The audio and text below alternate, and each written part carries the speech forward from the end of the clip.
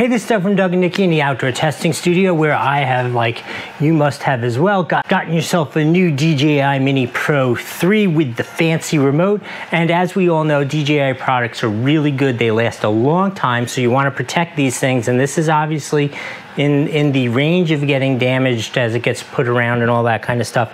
So I thought it would make, make sense to get a protector. Interestingly enough, this is from Guo Duo Duo.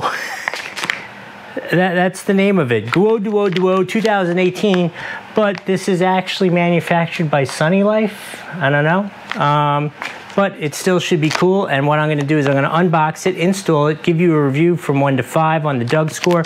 The thing that attracted me to this is in addition to protecting the remote, this one comes with a little sun, sun shield, which if you have this and you've used it a little bit, you will know that the screen on this remote, while fine, isn't the brightest in the world. So you, you kind of find yourself like shielding it against the light a lot.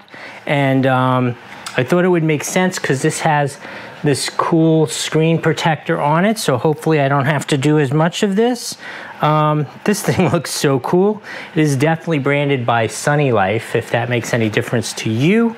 Let's put it on here. I'm not even reading any instructions on how to install it because if I can't do this, I'm going to give up my droning activities. And here we go. Let's see. Okay. So this is my fault, not the brand's fault.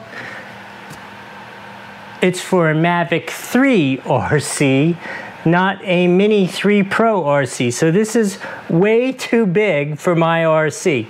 But I will tell you, I, I could still talk to you about the quality and the, the, the way it's made. I could tell just looking at this, this is absolutely a high quality product. You know, if it actually fit on here, I would definitely give this a five out of five on the Doug score. I just like a dope bought the wrong one for my remote. I'm gonna have to return it and order the other one.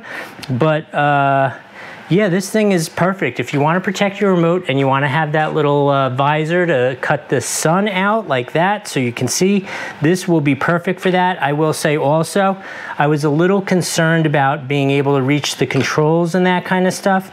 Um, because it's like a silicone based thing, it's very soft, so it's easy to, you know, if you need to move it a little bit, it'll move it a little bit. Anyway, that's my review. I hope it was helpful. We'll see you next time.